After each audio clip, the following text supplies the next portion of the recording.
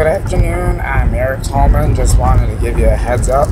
Uh, there's actually no uh, reports of any accidents or anything like that. I'm in Sterling Heights right now. I'm going to uh, try and give you a look of what's going on, but unfortunately, I'm not able to do that.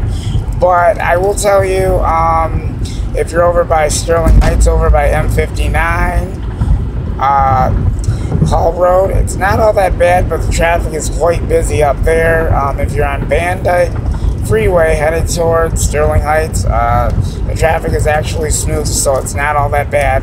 And like I said, there's no accidents to report, so everything is uh, going quite smooth.